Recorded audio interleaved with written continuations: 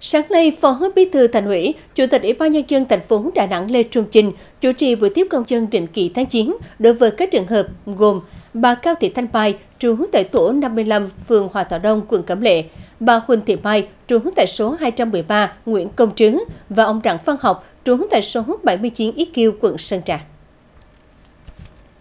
Đối với trường hợp bà Cao Thị Thanh Mai, kiến nghị xem xét giải quyết việc cấp đổi giấy chứng nhận quyền sử dụng đất, quyền sở hữu nhà và tài sản khác gắn liền với đất. Chủ tịch Ủy ban nhân dân thành phố Đà Nẵng Lê Trung Chinh yêu cầu quận Cẩm Lệ vận động đại diện tổ dân phố, các gia đình liên quan đến sự việc theo đơn kiến nghị của bà Mai để có hướng giải quyết thỏa đáng, đúng quy định. Về trường hợp bà Huỳnh Thị Mai kiến nghị xem xét giải quyết việc xây dựng nhà tại dự án An Dương 1, dự án treo từ năm 2004 cho đến nay, Chủ tịch Ủy ban nhân dân thành phố Lê Trung Chinh yêu cầu quận Sơn Trà xem xét lập báo cáo đề án trình thành phố để thành phố trình Hội đồng nhân dân thành phố xem xét thông qua chủ trương tạo cơ sở để thành phố sớm triển khai dự án. Đối với gia đình bà Mai, nếu có nhu cầu thuê chung cư để sinh sống tạm thời trong thời gian chờ triển khai dự án, các cơ quan chức năng sẽ tạo điều kiện để đáp ứng nguyện vọng.